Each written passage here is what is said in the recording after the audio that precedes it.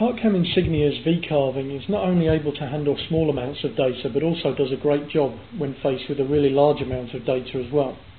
This can be quite common on jobs where you're engraving many names or numbers or something like that. For this demonstration I'm going to load an EPS file which was from a customer and it was for a dedication plaque um, for donors that had given money to a cause. So we're going to take it, ungroup it and delete the outside vector there and just come in and V-carve these vectors. If we open up the properties on these, we can see that there is over 3,500 vectors in here. Tremendous amount of data, over 65,000 points. I'm going to go into the V-carving and ask the software to V-carve this with a 90 degree bit and create the center line. Now this is still going to take uh, probably 10 to 20 seconds to do because there's really a lot of data here as you can see.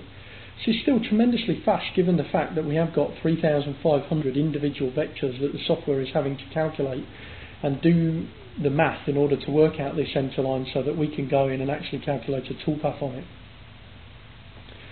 So we'll just give it a few more seconds here while it takes this and then it will be able to uh, draw up those centers. Then we're going to come in and go to the calculate button and we'll actually tell it to calculate the toolpath now. So again, this shouldn't take too long. The main part of this is the drawing of it, which is now done. And if we go into the 3D view, we can see that toolpath and we can simulate it. So really in a very, very short amount of time, we're able to calculate the V-carving for all these names and we'll be able to output that and cut it now. One downside of the number of names we've got here is the fact the simulation doesn't really show us any details, so I would struggle to check that the quality of the lettering was good.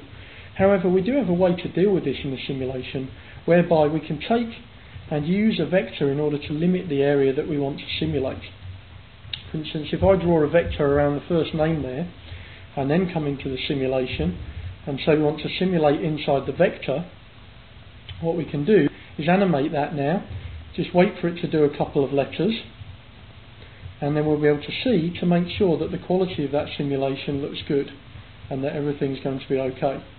Everything looks good on those letters and so now we'll be able to carry on with that toolpath knowing everything was going to work just fine.